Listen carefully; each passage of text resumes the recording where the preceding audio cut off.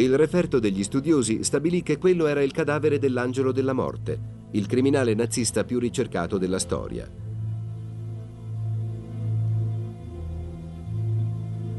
Se questa tesi era vera, che ne era stato del dottor Mengele dal suo arrivo in Brasile nel 1960 al momento della morte nel 1979? Dove e come aveva trascorso i suoi ultimi anni?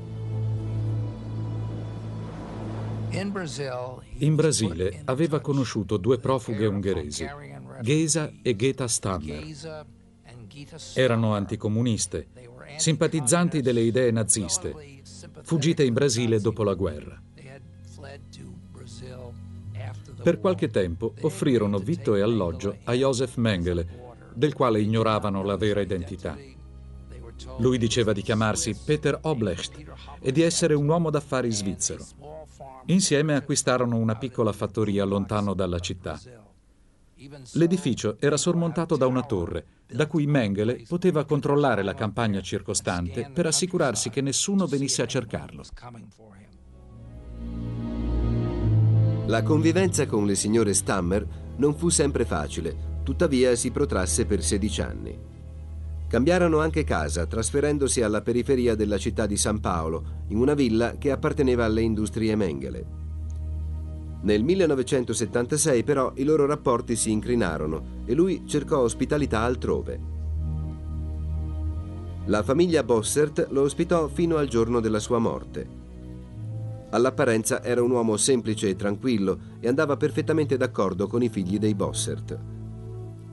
In realtà il suo timore di essere riconosciuto e catturato cresceva di giorno in giorno.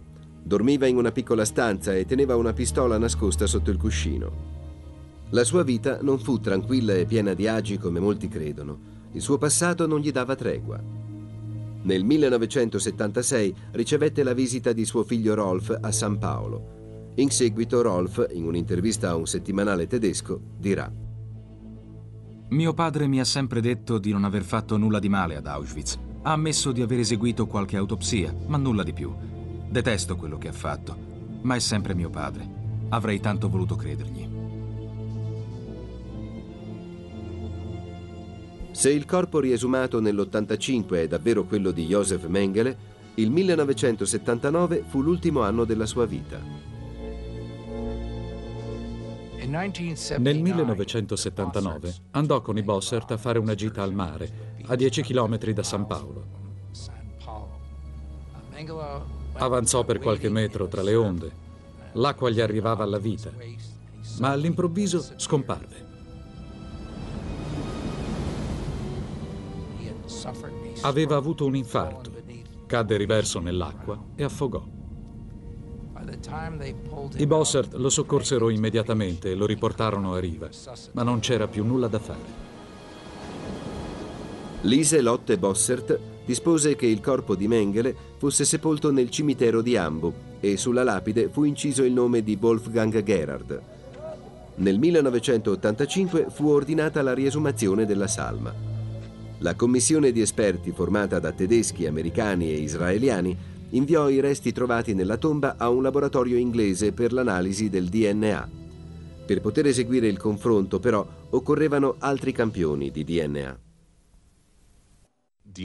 L'analisi del DNA fu rinviata a molto tempo dopo, perché né Irena né Rolf, entrambi residenti in Germania, vollero sottoporsi al prelievo dei campioni di sangue. Io stessa andai in Germania con tre amici e con mia sorella gemella. Inscenammo una protesta davanti alle industrie Mengele. Noi avevamo dato molto del nostro sangue ad Auschwitz. Perché loro non potevano offrire un semplice campione in nome della verità? Dopo un'inutile attesa, le autorità tedesche fecero pressione su Irena e Rolf affinché si sottoponessero al prelievo dei campioni di sangue e alla fine loro acconsentirono. Si poté quindi procedere all'analisi del DNA. Grazie a questo confronto fu possibile stabilire al 99,9% che il corpo sepolto ad Ambu era quello del padre biologico di Rolf Mengele. Nel 1992 il Dipartimento di Giustizia degli Stati Uniti, su richiesta del procuratore generale, redasse due dettagliati volumi sul caso Joseph Mengele. Vi si poteva leggere che gli Stati Uniti, dopo attente ricerche e rigorosi esami di medicina legale, riconoscevano il cadavere riesumato in Brasile come appartenente a Joseph Mengele, l'uomo che era stato inutilmente ricercato per molti anni.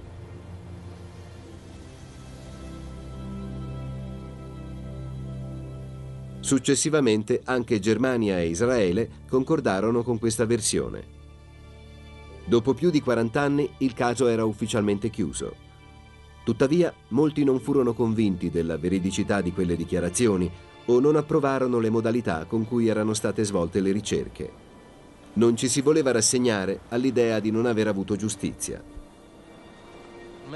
Il modo in cui Mengele morì non soddisfa la nostra idea di giustizia. Pensando alla sua morte ci saremmo aspettati perlomeno che si ammalasse di cancro e si spegnesse a poco a poco, magari con grande sofferenza. Invece non fu così. Mengele è morto annegato, dopo aver avuto un collasso. Sarà stata questione di pochi minuti. Forse si è reso conto di quello che stava accadendo, ma di sicuro non ha sofferto.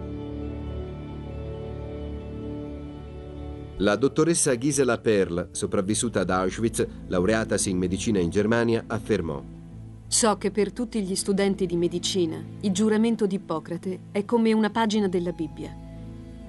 E invece Mengele ne ha fatto carta straccia. Eppure una volta Joseph Mengele aveva pronunciato fino in fondo le sacre parole del giuramento di Ippocrate. Se terrò fede a questo giuramento e non verrò mai meno al mio dovere, sia il mio nome ammirato da tutti gli uomini e io sia portato come esempio per la mia vita e la mia arte. Ma se lo infrangerò e rinnegherò me stesso, allora si perde il mio ricordo tra gli uomini. L'angelo della morte, il medico di Auschwitz, era diventato egli stesso l'incarnazione della morte.